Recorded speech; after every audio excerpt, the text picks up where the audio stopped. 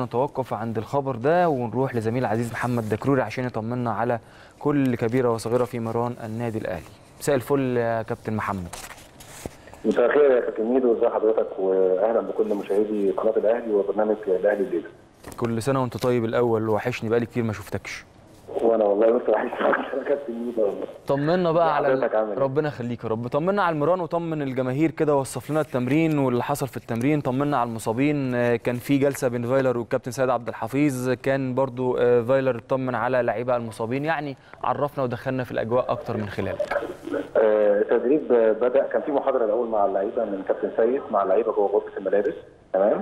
وبعد كده طلعوا كلهم وقفوا في الملعب طبعا المحاضرة الفنية اللي بيعملها الدكتور بيني فايلر آه، وقف يتكلم مع اللعيبة ويعني وكان في واضح إن كان في تحفيز جامد جدا للعيبة وإن هو كان من خلال اللي إحنا شفناه يعني إن هو بيقول لهم يعني بيهم إن ال- التدريب هو اللي هو اللي هيكون المقياس في المشاركة في المباريات.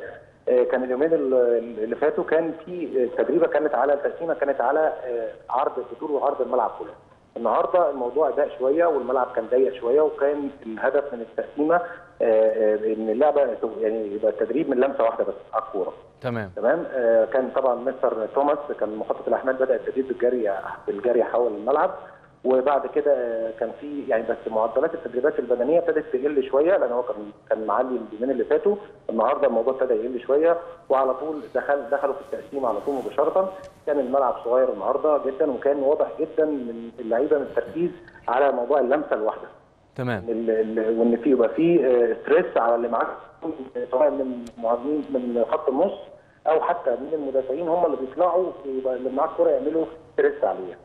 وطبعا التدريب- التقسيمه شهدت تألق لقفشه وصالح جمعة وحسين السيد وعمرو السولية وحسام عاشور وكابتن أحمد فتحي. تمام وبالنسبة بقى لتدريب حراس المرمى فمستر مايكل آه، يانا كونيه آه، عمل تدريبة قوية مع حراس المرمى وكان مركز النهارده جدا على العرضيات.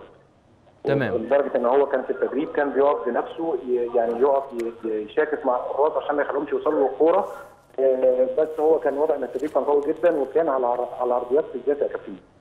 تمام. وبعد كده وبعد التقسيمه كان في بقى برضه تدريبه أخرى للاعبين على الكرات العرضية آه، وكيفيه استغلال آه، لعيبة خط النص في الكرات العرضية والمدافعين برضه آه، زي ياسر إبراهيم وزي محمود متولي آه، استغلال العرضيات لما يجي ضربة ضربة حرة مباشرة أو حتى ال- الكورنر.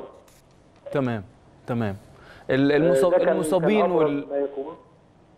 اتفضل. التدريب طبعا برضه تألق لشريف إكرامي والشناوي وعلي لطفي يعني التدريبة كانت قوية جدا.